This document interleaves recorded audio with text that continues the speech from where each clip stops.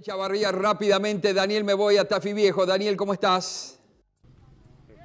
¿Qué tal compañeros? Muy buenos días. Nos encontramos en la calle Virgen Generala y Campaña del Desierto, aquí en la zona de Los Positos, donde se ha instalado la carpa del Ciprosa y se están realizando hisopados y además también la búsqueda de activos febriles. Vamos a dialogar con el señor Andrés Álvarez, quien es supervisor del área operativa. ¿Cómo le va, Andrés? Bueno, se ha comenzado a realizar los hisopados aquí en la zona de los Positos. Efectivamente, eh, dentro del marco de la disposición del Ministerio de Salud de la búsqueda activa de febriles y de pacientes sintomáticos compatibles con COVID, estamos trabajando en la zona de los Positos, por sobre todo en algunas zonas vulnerables, eh, de dos puntos de vista. Uno, para la pesquisa diciendo de posibles casos positivo de, COVID y por otro lado la concientización de la comunidad en cuanto a las medidas de precaución que tiene que tener, las medidas de prevención para evitar, digamos, contraer la enfermedad. Eh, tenemos un equipo de agentes sanitarios trabajando e hisopadores, vamos a hacer, está planificado para el día de hoy 50 muestras de PANBIO, que es el test rápido, y 30 de PCR. Por supuesto, si hay alguna eh, gente que este, quiera hacer y que no lo derivamos a los distintos servicios nuestros que están haciendo los hisopados. Bien, ¿es por orden de llegada o había que inscribirse? No, es por orden de llegada, este, ahí es por derivación de los distintos agentes sanitarios que van casa por casa visitando los hogares y viendo si es, eh, pueden detectar algún paciente, ¿no es cierto?, con síntomas o con fiebre.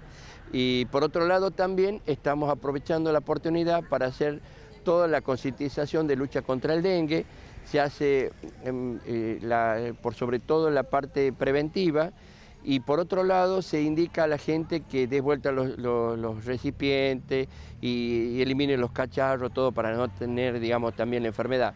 Por otro lado, también se invita a la gente, en especial a las mujeres, también en el programa de HPV para que se haga la autotoma y nosotros levantamos la muestra y la llevamos. Eh, todo esto dentro del marco de, una acción que no solamente eh, tiene como objetivo una sola parte, digamos, en este caso de la lucha contra el COVID, sino que un poquito más, este, con mucha más actividad, porque aprovechamos la oportunidad que llegamos al barrio y, desarrollamos todas las actividades posibles.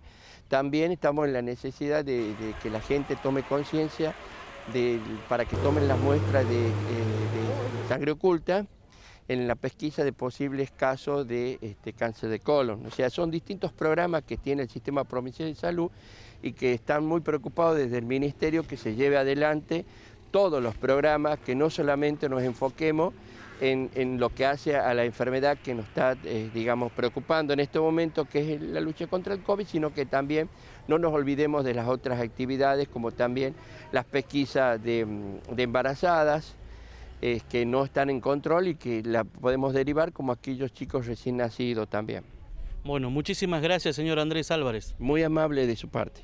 Bueno, estamos también con el concejal Antonio Reynoso, como siempre acompañando todo lo que le haga bien a los vecinos de Los Positos. Así es, buenos días a toda tu audiencia. La verdad que debo agradecer al Ministerio de Salud, ya que hoy en el día de la fecha están haciendo los cambios que lo que hablaba el encargado, ¿no? y agradecerle también al amigo compañero André Árboles, quien es el encargado del área operativa de la ciudad de Tafi Viejo, para poder realizar esta tarea, ¿no? que realmente este, veníamos esperando que se dé esto para ver los casos febriles, lo asintomático en el sentido esto del COVID, y también un poco hacer una tarea de concientización para que la gente se siga cuidando y siga teniendo los resguardos necesarios para evitar esta plaga que tanto daño nos está haciendo a todos los tucumanos. ¿Desde qué hora hasta qué hora va a estar instalada la carpa? Desde las 9 teóricamente que ya están por arrancar hasta las 12 del mediodía. Bien, concejal Antonio Reynoso, muchísimas gracias. Gracias a ustedes como siempre por su amabilidad. Muy buenos días.